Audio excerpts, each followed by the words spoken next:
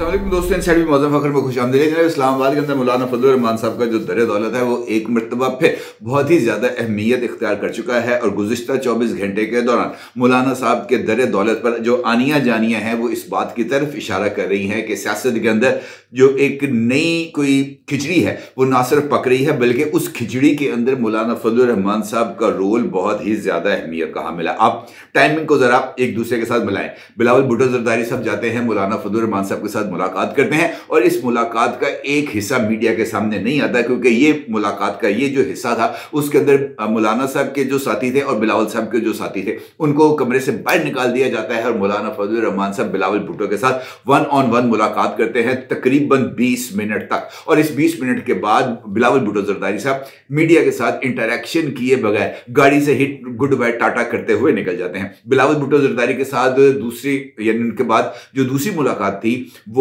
फैसल वाउडा की मुलाकात थी और फैसल वाउडा आजकल जो है ना, मिशन बिलावल के ऊपर खास से हद तक सरगर्म है। वो मुख्तलिफ़ लोगों को बिलावल भुट्टो साहब का जो सीवी है, वो बांट रहे हैं और मीडिया के ऊपर आकर भी बिलावल भुट्टो जरदारी साहब को नेक्स्ट प्राइम मिनिस्टर के तौर पर इमर्ज करने की कोशिश कर रहे हैं और वो इस बात का भी इशारा दे रहे हैं कि मौलाना फजल रहमान साहब की हमायत हासिल करना बहुत ही ज़्यादा अहमियत का हामिल है। जबकि मौलाना फजल रहमान साहब का जो ज़िक्र हुआ है फैसल वाडा के साथ, जो मुलाकात का, उसका भी मैं एक हिस्सा आपके सामने रखूँगा, लेकिन तीसरी मुलाकात होती है मौलाना साहब के साथ राना सनाउल्ला साहब की, जो कि वज़ीर आज़म के सियासी अमूर के मुशीर हैं। और मौलाना साहब के साथ राना सनाउल्ला की मुलाकात इस वजह से अहमियत की हामिल है कि जब छब्बीसवीं आइनी तरमीम का जो कट्टा था, वो, उसको काबू में करने की कोशिश की जा रही थी तो वज़ीर आज़म साहब की जो पोलिटिकल टीम थी, वो इस सारे अमल से बिल्कुल बेदखल हुई हुई थी, साइड पर बैठी हुई थी। मौलाना साहब के साथ उस वक्त वज़ीर आज़म की जो हकीकी पोलिटिकल लीडरशिप है, उसकी मुलाकात नहीं हो पा रही थी। अब राणा सनाउल्ला साहब की इस खेल में एंट्री और इतने बड़े पोलिटिकल प्लेयर्स के बाद एंट्री बहुत ही ज़्यादा अहमियत की हमला, लेकिन एक और मुलाकात थी। जो कि गुजशत 24 घंटे के दौरान हुई है और ये मुलाकात भी मौलाना फजल रहमान साहब के साथ हुई है, लेकिन ये मुलाकात मीडिया पर रिपोर्ट नहीं हुई, क्योंकि वो मुलाकात जो है, वो सियासी मुलाकात नहीं थी, यानी कोई सियासी शख्सियत जाके मौलाना फजल रहमान साहब से नहीं मिला था। तो इसका मतलब है गैर सियासी शख्सियत के साथ मुलाकात थी और पाकिस्तान के अंदर अगर गैर सियासी शख्सियात के साथ मुलाकातें हो रही हों तो इस मुलाकातों को कई मानी पहनाए जा सकते हैं। और दिलचस्प बात यह है कि इस मुलाकात की तस्दीक भी खुद मौलाना साहब के दस्तेरात यानी कामरान मुर्तजा साहब की तरफ़ से सामने आती है और वो इस बात का बरमला इजहार करते हैं कि दो मुलाकातों की तफसीलात मैं आपके साथ शेयर नहीं कर सकता। एक, राना सनाउल्ला की मौलाना साहब के साथ क्या गुफ्तगु हुई? इस मुलाकात को, इस गुफ्तगु को मीडिया के साथ नहीं शेयर किया जा सकता, क्योंकि इस मुलाकात के कुछ पॉइंट्स ऐसे हैं जो कि सेंसिटिव पॉइंट्स हैं और उन पॉइंट्स के ऊपर डिस्कशन करना मीडिया के अंदर एक पॉलिटिकल फ्लड गेट को खोलने के मुतरदफ होगा। जबकि वो मुलाकात जिसका ज़िक्र गैर सियासी शख्सियत के साथ हुई और तस्दीक भी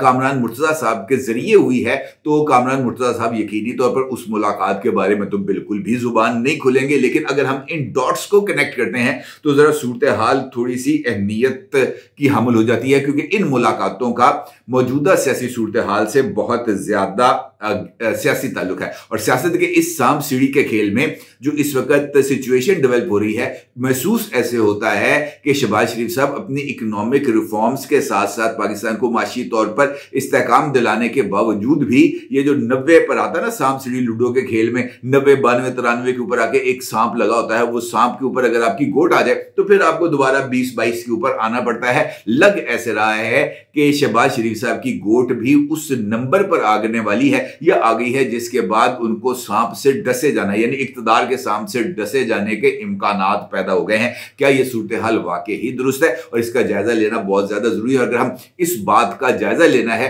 तो फिर हमें अडयाला जेल के ऊपर भी नज़र रखनी है, क्योंकि अडयाला जेल इस सारे सियासी सिनेरियो के अंदर एक ऐसा पोलिटिकल फैक्टर है, जिसको मौजूदा हालात में नज़रअंदाज नहीं किया जा सकता। और कल फॉर्मेशन कमांडर्स की मीटिंग के बाद जारी होने वाले इलामिये की रोशनी में उसकी जो रेलिवेंस है इस पोलिटिकल सिनेरियो के अंदर वो और ज़्यादा बेहतर हो जाती है और ज़्यादा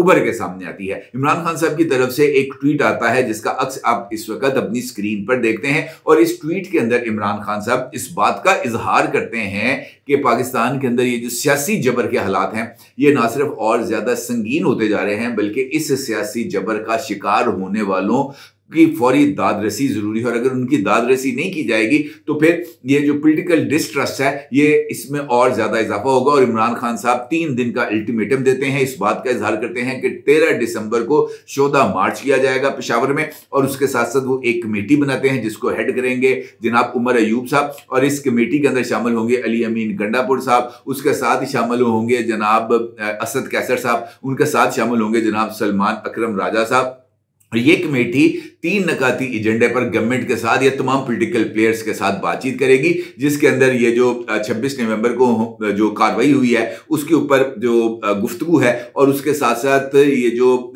इस वक्त सियासी असीरान की रिहाई है, इस इशू के ऊपर बातचीत की जाएगी और उसके लिए तीन दिन का अल्टीमेटम दिया गया है। तीन दिन के अंदर अगर ये बातचीत शुरू नहीं होती या ये बातचीत अपने मंतगी अंजाम तक नहीं पहुँचती तो फिर इमरान खान साहब ने वो जो कार्ड सीने से छुपा कर रखा था, उस कार्ड को भी ओपन कर दिया है इमरान खान साहब का ये मानना है कि वो सिविल डिसओबेंस यानी सिविल नाफरमानी की तहरीक शुरू करेंगे और ओवरसीज पाकिस्तानियों से अपील करेंगे कि वो पाकिस्तान में रेमिटेंसेज यानी तरसीलात जर ना करें और तरसीलात जर ना होने के नतीजे में गवर्नमेंट के ऊपर दबाव पड़ेगा। इमरान खान साहब ये कार्ड पहले भी इस्तेमाल कर चुके हैं और जिस वक्त इमरान खान साहब ने एक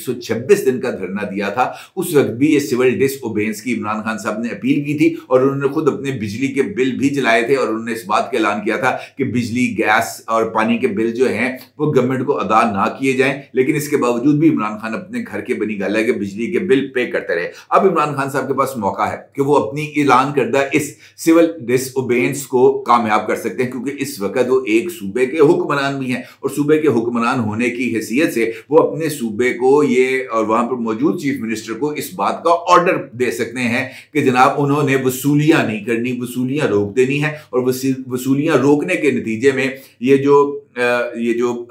अमाउंट्स हैं कलेक्शंस हैं ये गिर जाएँगी और आईएमएफ की तरफ़ से जो शर्त है वो पास नहीं हो पाएगी और शर्त की जो है वो मंजूरी ना होने के नतीजे में गवर्नमेंट के ऊपर दबाव बढ़ेगा और आईएमएफ जो है कर्ज की अगली किस्त जारी नहीं करेगी और कर्ज की अगली किस्त जारी ना होने की आ, होने का मतलब ये होगा कि गवर्नमेंट जो है वो क्लैप्स कर देगी और इमरान खान साहब अपने इस कार्ड को खेलने के लिए जो जो ऑप्शंस हैं उनके पास, वो उसमें उनके लिए जो खैबर पख्तूनखा की हुकूमत है, वो उसका, उसको यूज़ करना एक की रोल होगा। लेकिन मुझे नहीं लगता कि इमरान खान साहब इस हद तक जाएँगे। ये महज एक ऐलान है अपने वोटर्स को, अपने सपोर्टर्स को, ये तासुर देने के लिए कि जनाब अब, अभी भी मैदान में मौजूद हैं और हम किसी भी सूरत हाल से डरने वाले नहीं हैं।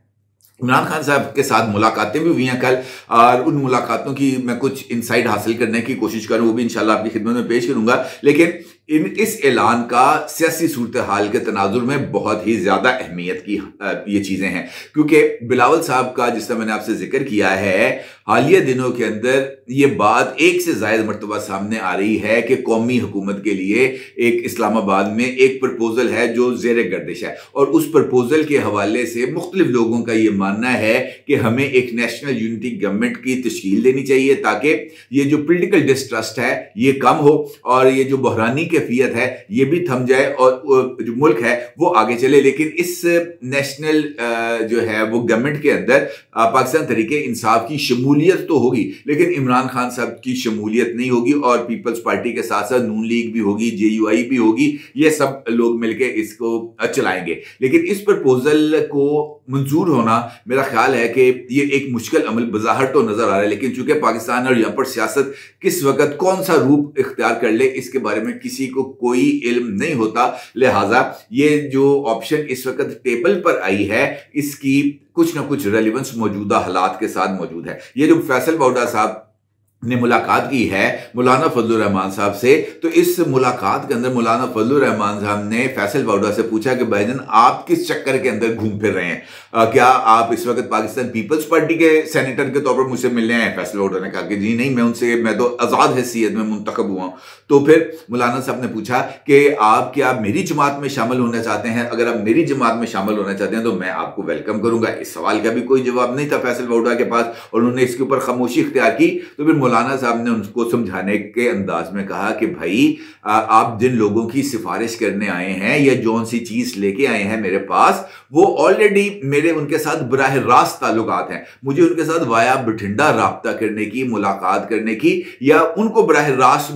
जो है वो मैं, मेरे साथ उनकी एक्सेस मौजूद है। उन्हें किसी मीडियम की, किसी वाय की ज़रूरत नहीं है। आप आए हैं, आपका बहुत शुक्रिया। यू आर मोस्ट वेलकम आप जिस टाइम मर्ज़ी आए, मुलाकात करें, खाना खाएँ, चाय पिए, ये आपका अपना घर है, बाकी जो रवायती जुमले हैं, लेकिन मौलाना साहब ने फैसल बाउडा साहब को इस बात से बखूबी आगाह कर दिया कि भाई, जिस खेल के अंदर आप हाथ डाल रहे हैं, उस खेल के अंदर हाथ डालने की आपकी औकात नहीं है। क्योंकि आप के बारे में ये राय मौजूद है कि आप स्टैब्लिशमेंट के माउथ पीस हैं, या स्टैब्लिशमेंट में मौजूद किसी शख्सियत को रिप्रेजेंट करते हैं तो जिन लोगों को आप रिप्रेजेंट करते हैं, वो बराह रास्त मेरे साथ और आपसे बड़े लेवल पर मेरे साथ आके इंटरेक्शन करते हैं। लिहाजा आपको इस सारे मामला में आने की ज़रूरत नहीं है। जब